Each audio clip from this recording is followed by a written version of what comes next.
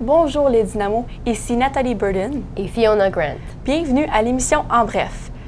L'école de conduite CHAM offrira un cours de conduite débutant le 5 novembre. Si vous avez 15 ans et plus, vous pouvez compléter le formulaire disponible au secrétariat. Nous aimerons souligner ce matin les classes gagnantes de la chasse au coco franco qui auront le privilège d'assister au spectacle de l'humoriste franco-ontarien Alexandre Bisaillon demain matin. Nous avons le privilège de recevoir cet artiste puisque notre école participera encore cette année au concours LOL, Mort de rire. Félicitations à la classe de 9e année de Mme Véronique Caillé, 10e année de M. Martin Girard, 11e année de M. Yannick Soprenant et le CI de M. Roger Houle.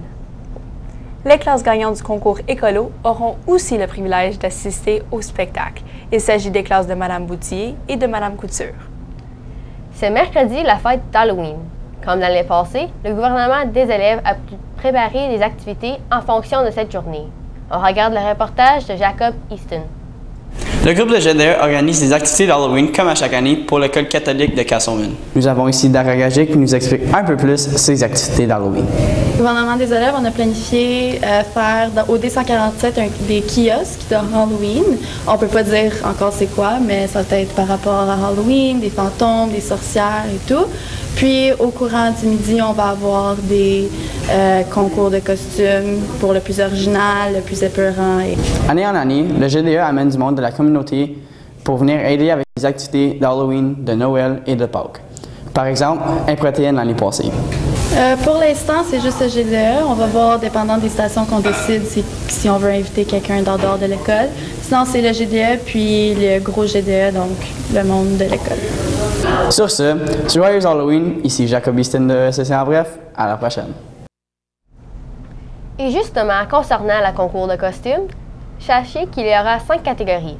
De groupe, le plus épeurant, le plus original, fête maison et le plus drôle.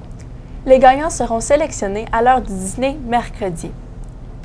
Veuillez prendre note que la pratique de danse pour la cafétèque de ce midi est annulée.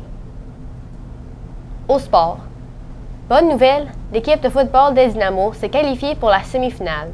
Les Dynamos disputeront donc la victoire à l'école secondaire catholique Carnot le 8 novembre.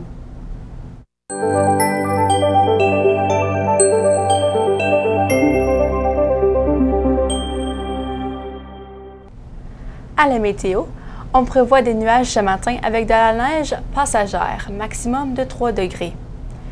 C'est ce qui conclut votre émission En Bref ce matin. ECC En Bref vous revient jeudi avec plus de nouvelles. Bonne journée à toutes et à tous.